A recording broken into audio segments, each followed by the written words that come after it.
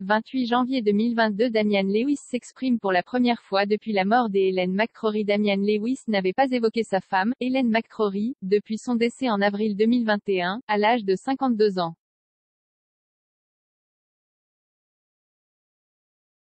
Il a choisi pour se faire une lecture de poèmes, devant près de 1000 personnes au National Theatre de Londres.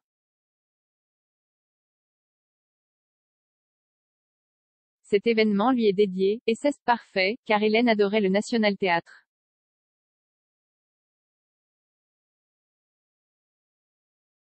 Une personne à qui on ne pouvait absolument pas voler la vedette, c'était Hélène McCrory, a-t-il entamé.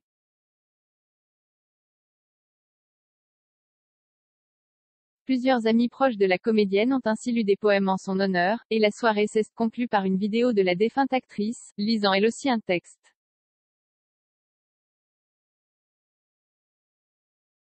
Arnold Schwarzenegger se révèle en The Paris Hilton a déjà les prénoms de ses enfants Paris Hilton a hâte d'avoir des enfants, et la star est dans les starting blocks pour tout, même pour les prénoms.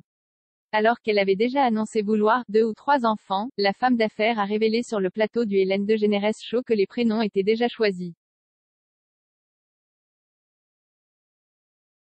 La fille s'appellera London Marilyn Hilton Rum. Marilyn pour ma grand-mère, et London parce que Londres est ma ville favorite, et je pense que Paris et London, ça fait mignon, a-t-elle expliqué, ajoutant que pour le deuxième enfant, les noms étaient aussi choisis, mais qu'il était pour leur secret.